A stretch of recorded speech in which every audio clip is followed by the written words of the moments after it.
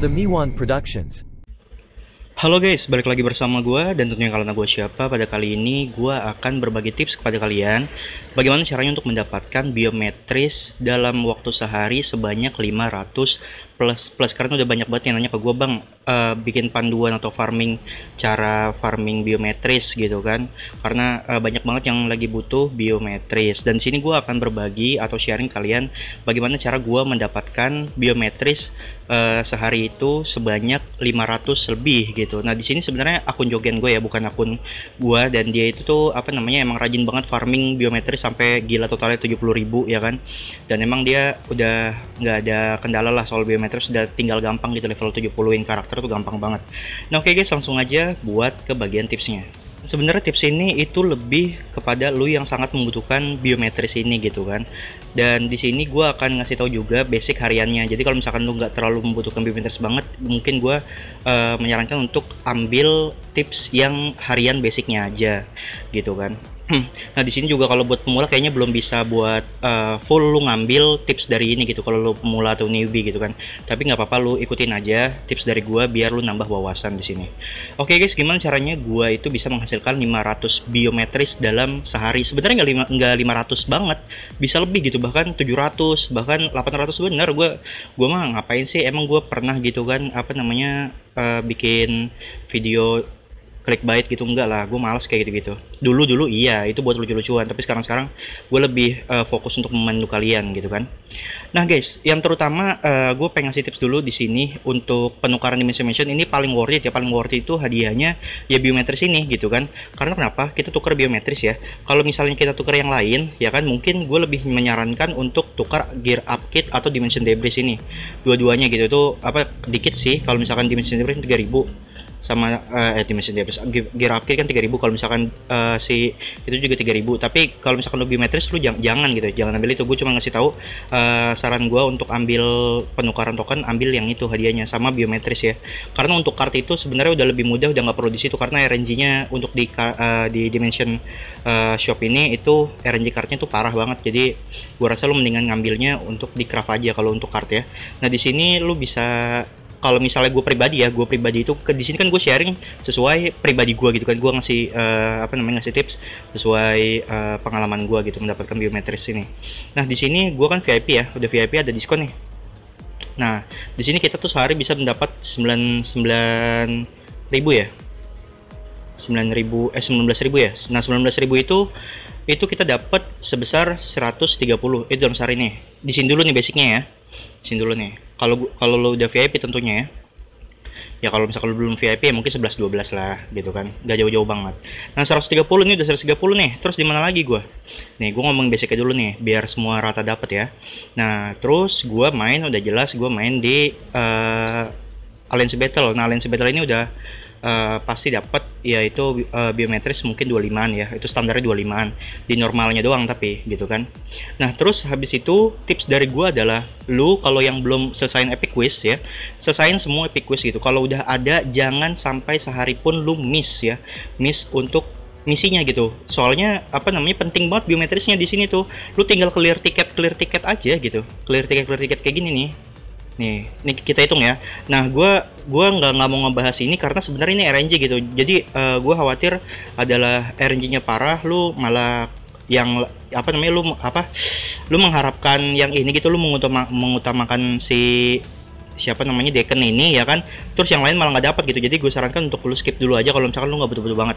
Nah dari sini ya dari sini. Dari Dark Rain dulu nih. Ini udah 10 ya. 10 nih standarnya 10 lah gitu kan. Nah di sini dua jadi 30 ya. Nah lu ambil ambilin aja dan saran gue adalah uh, lu ambil ambilin kalau misalnya si energi lu udah penuh gitu. Itu energi mah gampang banget gitu kan. Lu tinggal nunggu aja gitu. Pasti semua dapat kok. Percaya dah sama gue gue aja sering kok gue udah atur waktunya soalnya udah udah tahu gue waktunya. Nah dari sini itu tadi 30 ya.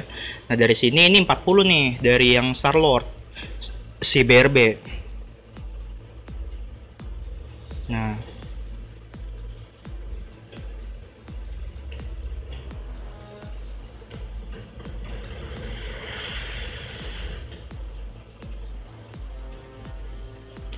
sekarang enak clear ticket tuh gampang banget caranya dulu buset dah. Clear ticket tuh udah kayak jackpot sumpah. Gue sampai numpuk-numpuk loh sekarang. Ya gak sih? Kalau lo pemain endgame atau lebih lama semisalnya gitu kan.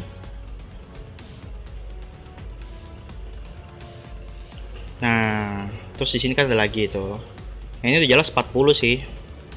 Di sini. Ambil ambilin lah. Nah nanti kristal eh kristal.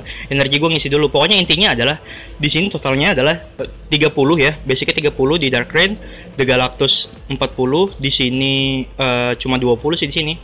Karena eh enggak di sini 40 uh, eh, ada si Main Green dan juga si apa namanya Inhuman Princess. Nah terus juga sama si Ting sama Human Torque ini 40 40 nah jadi berapa tuh?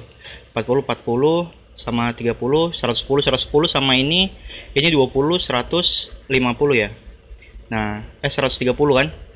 Nah 130 nih ya. Terus 30 sama ini. Sama ini itu 40 juga gitu kan? 40 nah 130 sama 100 sama 40 jadinya uh, 170 nah 170 sama ini. Ini juga 4 juga nih. Nah jadinya berapa tuh?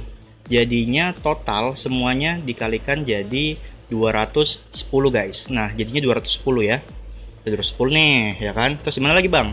Nah gue tuh kan apa namanya rajin Master Mission kan? Master Mission rajin. Nah totalnya nih kalau gue main dari uh, Dimension Class Doll War dan juga di Future Ends here itu totalnya nggak mati dari 100 standarnya 100 biometris.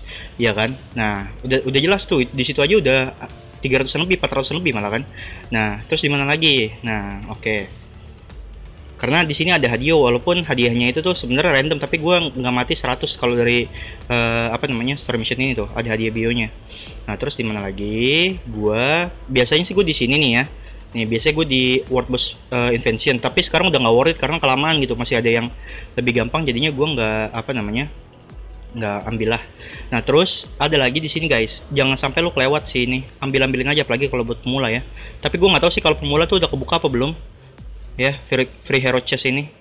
Tapi kalau gue itu apa namanya gue ngeliat di akun lain tuh udah kebuka gitu walaupun gak VIP VIP nya itu cuma uh, reduce waktu doang. So gue sih nah di sini 24 ya. Ini kecil banget sih sebenarnya. Ini 24 standarnya ya standarnya segitu. Nah ini 24 nih ya kan? Nah terus di mana lagi bang masih banyak sebenarnya ini kan gue ngomongin basic ya. Sebenarnya lo bisa aja tuker di timeline battle ya kan token timeline battle dan segala macem ya kan. Nah di sini gue ngasih rahasia nih satu rahasia nih. Kalau emang lo sekiranya pengen banget nih. Di sini guys. Dispatch mission. Mungkin lo bingung kan dispatch mission mana bang?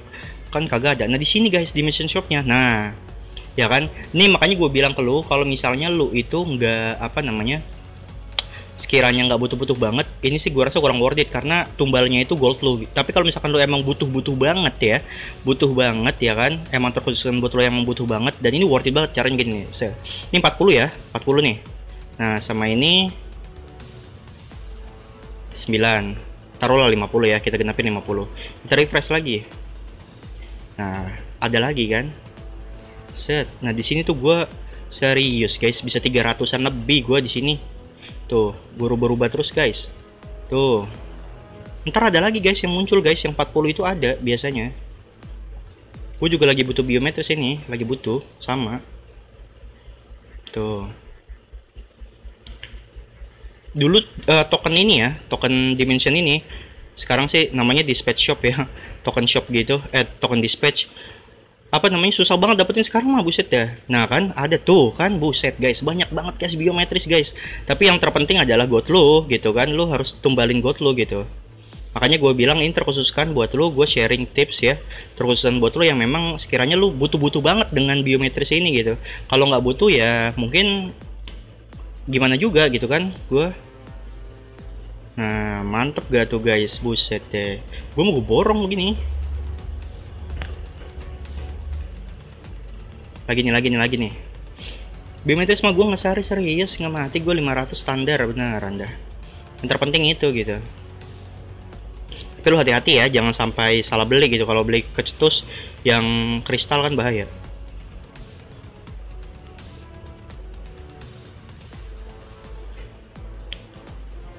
Nah. Banyak banget kan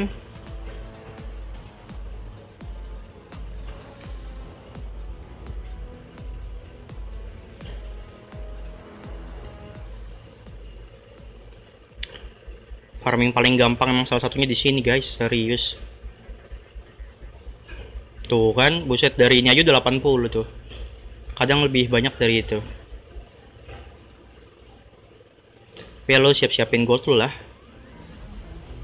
Tuh kan 40 lagi. Banyak banget guys. Mungkin ini bukan rahasia sih sebenarnya bukan rahasia gitu tapi jarang orang sadar kalau buat farming itu untuk di sini gitu biasanya orang kan ngarepnya dari si Shadowlands gitu kan. Ngarepnya dari minggu Shadowlands doang. Ya susah lah lu gimana kalau dari gituan doang. Susah level 70 banyak-banyak. Nah guys tuh dari situ aja gue udah dapet 300an lebih kan. Udah dapet 300an lebih tuh totalnya. Sebenarnya masih banyak ya sebenarnya masih banyak sih buat harian. Atau lu pengen farming gitu. Nah di situ mungkin kayak gitu aja ya untuk simpelnya gitu. Cara simpelnya buat nyari uh, biometris dan semoga ini bermanfaat buat kalian ya. Pokoknya kayak gitu guys. Intinya uh, saran dari gua adalah lu uh, apa namanya dimensi mission ini penukaran token ya. Penukaran tokennya itu ya udah ambil bio aja gitu. Terus juga dari sini nih dari sini tuh udah dapet gitu. Ini apa namanya nggak uh, mati kalau misalnya saat apa namanya bisa lebih dari terlalu gua gua hitung dulu. Gua hitung dulu guys. Uh, tiga kali atau dua kali 20 ya. Ini 40-an 50-an dari, dari hero support ini nih. Kalau misalkan lu abisin ya kan 50-an nah jadi totalnya adalah lu bisa mencapai 500an lebih gitu. Bahkan tadi gua totalnya udah 700an kan. Udah 700an guys. Kayak gitu guys. Pokoknya ya mungkin kayak gitu aja ya.